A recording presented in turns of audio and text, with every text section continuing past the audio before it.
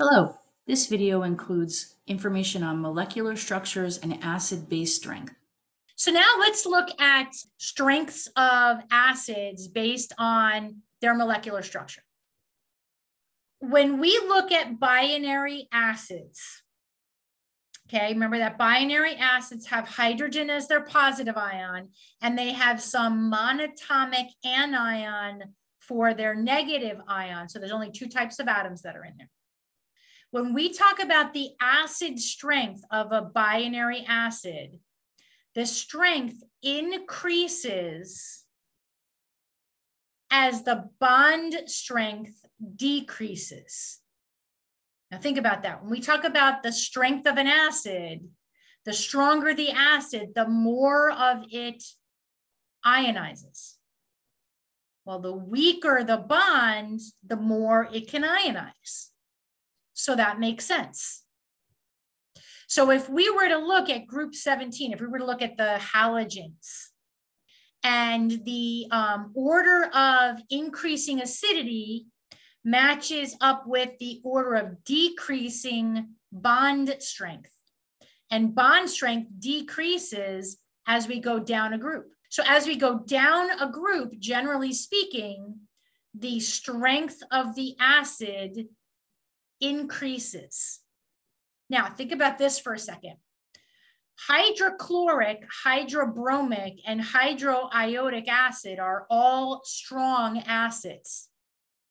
Hydrofluoric acid is a weak acid. So it makes sense that, you know, the weak acid is at the top and the acids get stronger as we go down. As we go across a period, the bond strength decreases, so the acid strength increases. If we wanted to talk about the strongest acids, the strongest acids are going to be the farthest to the right and the farthest to the bottom. So bottom right are the strongest acids. Bases are the reverse. So the strongest bases are the weakest acids. And they would be the farthest to the left and the farthest to the top. So the strongest base would be at the top. The strongest acid would be at the bottom. So when we look at bond strength, Okay, we've got, you know, whatever X is bonded to hydrogen. This is the bond. Now, in order to um, talk about the strength of the bond, we're talking about, uh, or the strength of the acid, we're talking about the ability to break this bond. The easier this bond can be broken, the stronger the acid is. So let's just look at this table generally speaking. Okay, we've got hydrofluoric, hydrochloric, hydrobromic, hydroiodic acid. BE stands for bond energy. Okay, how much energy is required to break that bond? As we go down the group, the bond energy decreases. Well, if we look at the Ka value, and really we just have to look at the exponent, the Ka value is increasing. And the larger the Ka value, the stronger the base, or sorry, the stronger the acid. So the stronger the bond, the weaker the acid. The weaker the bond, the stronger the acid. Okay, when we look at polarities, as we increase the bond polarity, we increase the strength of the acid. So if we were to look, the electronegativity difference is decreasing when we go from chlorine to bromine to iodine to carbon, which means that the bonds are becoming more polar, sorry, less polar. And as the bonds become less polar, the acid becomes weaker. Let's look at this as an example.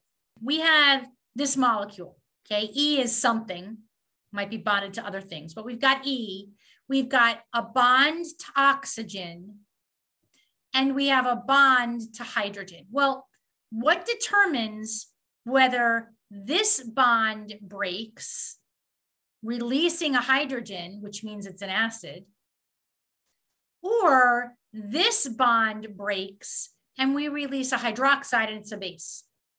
Well, it depends on what E is. If E is a metal, okay, something on the left-hand side of the periodic table, this bond breaks. And if this bond breaks, hydroxide is given off and it's a base. But if E is a nonmetal, something on the right side of the periodic table, then bond B here breaks, and we're looking at a structure that's an acid. When we look at molecules, oftentimes, the, especially the oxy acids, we can change the number of oxygens in the oxy acid, which changes the oxidation state. If we were to look at nitrous acid, this is nitrite. And then we've got our hydrogen linked on. So this is nitrous acid. This is nitrite, NO, or sorry, nitrate. This is NO3 bonded to a hydrogen. So this is nitric acid. Nitric acid is a stronger acid than nitrous acid. Okay, if we were to look at sulfurous acid, okay, um, SO3 is sulfite, and we have our two hydrogens on here to make H2SO3. This is sulfurous acid. This is SO4. This is sulfate bonded to two hydrogens. So this is sulfuric acid. The more oxygens we have, the more acidic the solution is. So nitric acid and sulfuric acid are strong acids. Nitrous acid and sulfurous acid are weak acids.